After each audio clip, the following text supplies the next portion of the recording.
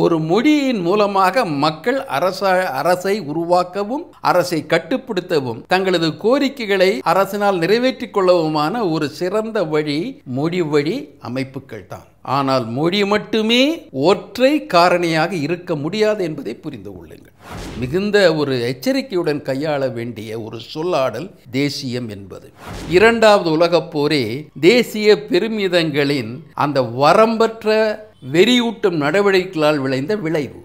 Soviet union வந்து மாநிலங்களுக்கு முழு உரிமையை கொடுத்த ஒரு கூட்டமைப்பாக உருவாக்கப்பட்டது. ஒரு மையப்படுத்தப்பட்ட திட்டமிடுதல். வந்த பிறகு மாநிலங்களின் பொருளாதார உரிமைகள் படிப்படியாக மையத்திற்கு சென்று விடுகின்றன. மாநிலங்கள் நடைமுறையில் தனது அதிகாரங்களை இழந்து விடுகின்றனர் சூழல் அங்கு உருவாயிற்று. இந்தியா என்ற ஒரு நாடு. இனி சொல்லப்போனால் நம்ம வந்து ரொம்ப பழங்காலத்துக்கெல்லாம் போகாட்டால் கூட இதை பற்றி நீண்ட விவாதங்கள் தேவைப்படுகின்றன. ஒரு புரிதல் வேணும்னா வரலாற்றை பல இடங்களும் அவன் பார்த்து தான் ஆகணும். இந்த முடிவெடி தேசியம் என்ற கருத்தை ஏறக்குறைய ஐரோப்பாவிலிருந்து பெறுகின்றோம். பெறுகின்ற பொழுது அதன் பின்னணியை நாம் பார்த்தாக வேண்டும். கிரே ரோமானிய பேரரசின் வீழ்ச்சிக்கு பிறகு என்ன ஒரு அடையாளம் வலியுறுத்தப்படுகிறது என்றால் கிறிஸ்துவ அடையாளம் வலியுறுத்தப்படுகிறது. கிறிஸ்துவம் ஒரு பிணைக்கின்ற ஒன்றாக மாறுகிறது. மொழியை பற்றி கவலைப்படவில்லை. போப்பாண்டவரது ஆட்சி உருவாக்கப்படுகிறது. பேப்பசி என்று சொல்லப்படுகின்ற போப்பாண்டவர் ஆட்சி. அந்த போப்பாண்டவரே படைகளை அனுப்புகின்றார் போர்களுக்கு வழிவகுக்கின்றார் அது வேறு. பிறகு புனித ரோம சாம்ராஜ்யம் என்பதாக ஹோலி ரோமன் என்பது என்பதாக எம்பையர் என்பதாக கொண்டு வரப்படுகிறது. கிறிஸ்துவம் என்ற அடிப்படையில் மன்னர்களை இணைக்கின்ற ஒரு கூட்டாட்சியாக அந்த ஹோலி ரோமன் எம்பையர் வந்தது. அப்பொழுது மதத்தின் பெயரால் வருகின்ற பொழுது கடவுள் புனிதமானவர் கடவுளது பிரதிநிதியாக இருக்கின்ற அந்த ஆட்சியாளர் புனிதமானவர் அந்த ஆட்சி இணைப்பதற்காக பயன்படுத்தப்படுகின்ற மொழி புனிதமானது. ஆகவே அங்கு லத்தீன் என்பது லத்தீனால் விளக்கப்படுகின்ற அந்த விவிலியம் என்பதும் புனிதமாக்கப்படுகின்றது. அதை விளக்குகின்ற உரிமை ஆட்சி தலைமையிடம் சென்று விட்டது. அது மதத்தலைமையாக இருந்தது. இந்த புனித ரோமானிய பேரரசு வீழ்ச்சி அடைவதற்கான காரணம் இந்த கூட்டாட்சி தத்துவம் என்பது ஒரு சாராருக்கு சாதகமாகவும் ஆனால் அதிகமான பெரும்பான்மையான பிற சாராருக்கு பாதகமானவும் அமைந்து விட்டது. ஒன்றுக்கு மற்றவர்கள் இணங்கி போக வேண்டும் என்ற சூழல்தான் இந்த ஒரு அதிகார மையத்தின் கூட்டாட்சியின் அடிப்படையாக இருந்தது. ஒன்றுக்கு பிறர் இணங்கி போக வேண்டும். இணக்கம் என்பது விட்டு கொடுத்தல் என்பதாக சொல்லப்படும். எதை விட்டு கொடுப்பது? தன் நலனை தன் அடையாளத்தை தனது தேவைகளை விட்டு கொடுத்து ஒரு பொது அமைப்பை தாங்கி பிடிக்க வேண்டும் என்பதாக சொல்லப்பட்டது. அதற்கு மதம் கருவியாக இருந்தது. அந்த புனித சோ ரா- ரோமானிய சாம்ராஜ்யம் வீழ்ச்சி அடைந்தது வீழ்ச்சி அடைகின்ற பொழுது அந்த ஒற்றை தலைமை ஒற்றை மொழி என்பது ஒற்றை மதம் என்பது கேள்விக்குள்ளாக்கப்படுகின்றது. அப்படித்தான் கிறிஸ்தவத்தில் பல பிரிவுகள் வருகின்றன. போப்பாண்டவர் தூக்கி எறியப்படுகின்றார். இந்த சர்ச் இந்த மத நிறுவனம் என்பதற்கு வரையறைகள் இடப்படுகின்றன. அனைத்து விஷயங்களையும் அனைத்து செய்திகளையும் அனைத்து பொருள்களையும் அனைத்து பிரச்சனைகளையும் இந்த சர்ச் என்பது தீர்மானிக்க முடியாது. அதை மக்கள் அமைப்புகளோ மன்னர் அமைப்புகளோ தீர்மானிக்கும். முதல் மன்னர் அமைப்புகள் தான் கோரின. அடுத்த அதிகார நிலையில் இருப்பவன். முதல் அதிகார நிலையில் இருப்பவனை எதிர்த்து கேள்வி கேட்க இப்பொழுது ஒற்றை ஆட்சி ஒற்றை ஆட்சி தலைமை என்பது கேள்விக்குள்ளாக்கப்படுகிறது.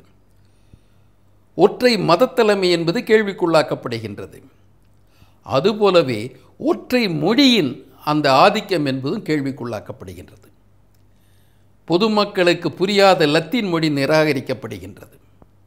அவரவர் மொழிகளில் அதில் மன்னர்கள் தான் வலியுறுத்துகின்றார்கள். இனியும் சொல்லப்போனால் சில மன்னர்கள் ஆளுகின்ற பகுதி அவர்கள் மொழி பேசுகின்ற பகுதியே அல்ல. ஆனாலும் அந்த மொழி அடிப்படையில் மன்னராட்சிகள் தான் முதலில் துவங்குகின்றன. ஆகவே ஒரு சமூக அரசியல் பொருளாதார கட்டமைப்பில் மாற்றம் வருகின்ற பொழுதுதான் இந்த அரசு கட்டமைப்பின் நிலையும் மாறுகின்றது. மொழிவழி தேசியம் அப்படித்தான் வருகின்றது. ஆனால் ஒரே மொழியை கொண்டிருந்தாலும் கூட அது ஒரு இறுக்கமான அல்லது நன்மை பயக்கின்ற அனைவரும் ஏற்கின்ற அமைப்பாக இருக்க வேண்டும் என்ற பொருள் இல்லை. தெலுங்கானா இங்கு பிரிந்து போவதை பற்றி கூட நான் சொல்லவில்லை. ஒரே தெலுங்கு மொழி பேசுகின்ற விசாலா ஆந்திரா. அதற்காக ஒருவர் சென்னையில் உயிர் விட்டார். உண்ணா நோன்பு இருந்து உயிர் விட்டார். விசாலா ஆந்திரா உருவாக்கப்பட்டது. முதலில் இங்கு கோரிக்கையின் மூலம் போராட்டத்தின் மூலம் உருவாக்கப்பட்ட மொழிவழி மாநிலம் என்பது விசால ஆந்திரா. அந்த விசால ஆந்திராவில் தெலுங்கானா பிரிக்கப்பட்டது எப்படி? தெலுங்கானா கோரிக்கை உருவானது எப்படி? தெலுங்கானாவைச் சேர்ந்தவர்களே முதலமைச்சர்களாக இருந்த ஆட்சி. தெலுங்கானாவைச் சேர்ந்தவர் இந்திய பிரதமராக இருந்த ஆட்சி. அந்த நிலையில் தெலுங்கு மொழி அவர்களை ஒன்றுபடுத்தவில்லை. ஒரே மொழி பேசுபவர்களுக்குள் மோதல் ஏற்பட்டது. அதையும் நாம் பார்க்க வேண்டும். ஆகவே தேசியம் என்பது மொழி என்பது அடிப்படை ஜனநாயக தேவை.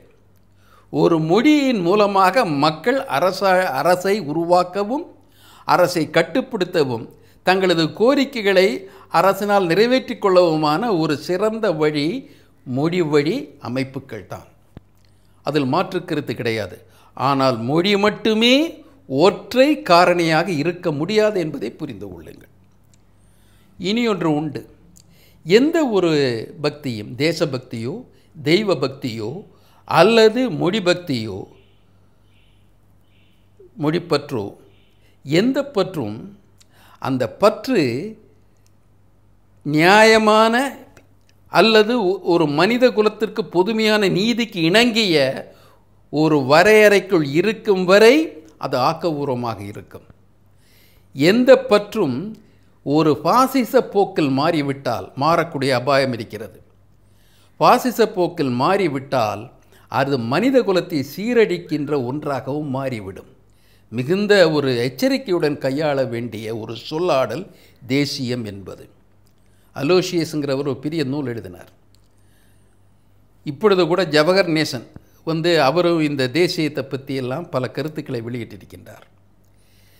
தேசியம் என்ற அந்த பெயரில் அல்லது அந்த ஒரு அடிப்படையில் செய்யப்பட்ட அத்துமீறல்களை பற்றியும் அழிவுகளை பற்றியும் பல நூற்கள் வந்திருக்கின்றன. அதிலும் ஐரோப்பாவில் முடிவிடி தேசியம் வந்த பிறகு ஒரு மொழி தேசியம் பிற மொழி தேசியத்தை விட சிறந்தது என்று காட்டிக்கொள்வதற்காக அடுத்த மொழி பிரிவினரை எதிரிகளாக பாவித்ததன் விளைவாக இந்த மொழிவழி தேசியம் ஏற்பட்ட பிறகு ஐரோப்பாவில் நடந்த எண்ணற்ற போர்கள் எண்ணற்ற அழிவுகளை பார்க்க வேண்டும்.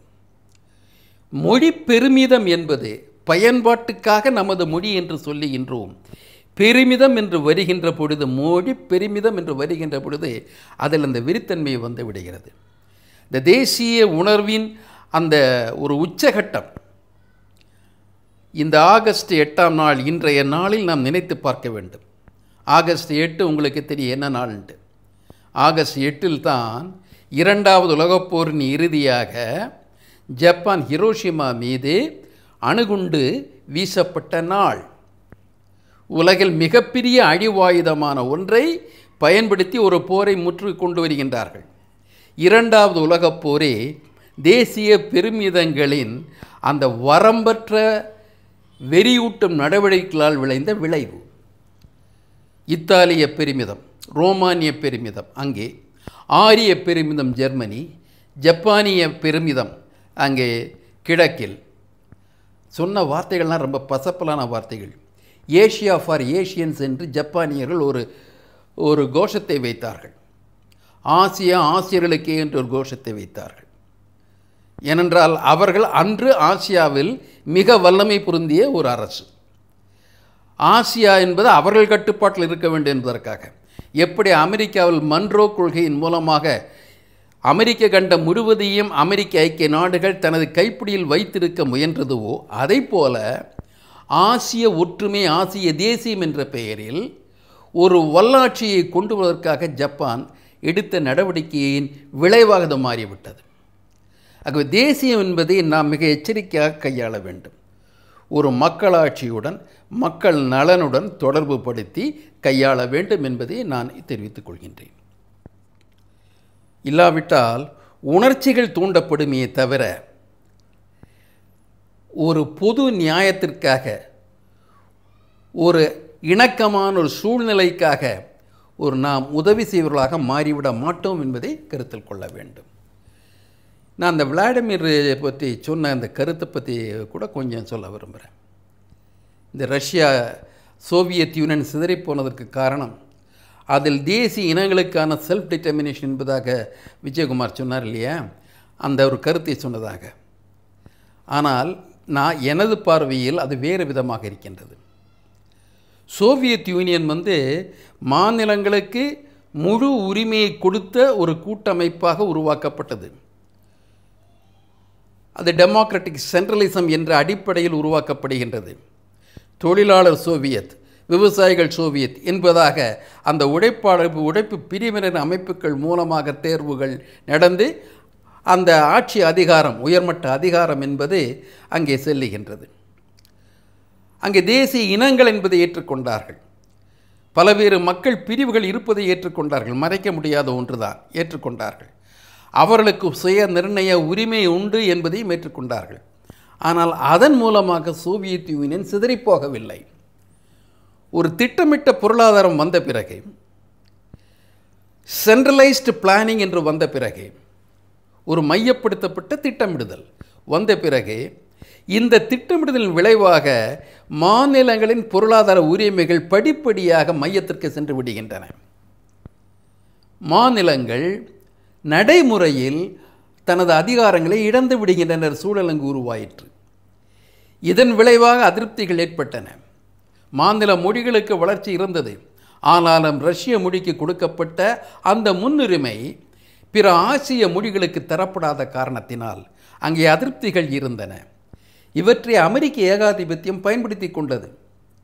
அங்கே தான் அவங்க தான் இந்த ரிலிஜியஸ் ஃபண்டமெண்டலிசம்ஸில் மத அடிப்படை வாதத்தை இந்த சோவியத்தினுள் விதைத்தவர்கள் அமெரிக்கர்கள்.